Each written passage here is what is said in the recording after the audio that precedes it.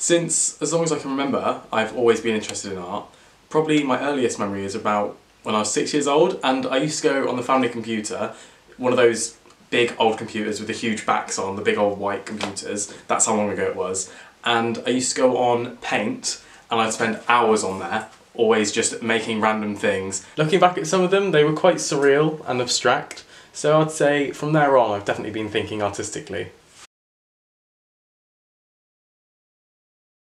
After studying art and painting for quite a few years, I wanted to turn a hobby into something more than just a hobby. I want to share my work and message behind each piece with the public because I really do think a picture speaks a thousand words. So I always find it interesting to see what ideas and opinions come to mind when I share my work with others.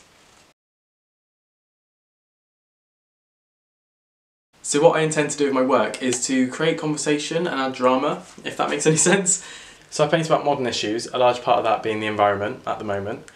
And I do in the future intend to branch out to do more political or cultural issues in my work. And when I paint, my emotion is shown through the gestures and brushstrokes on the canvas. So whether that be light-hearted and subtle or angry and obvious, I guess I just want people to talk more about the issues that we're facing instead of just brushing it under the carpet.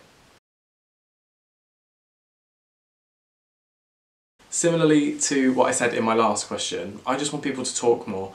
Not just surface stuff though, things that are deeper and really are important.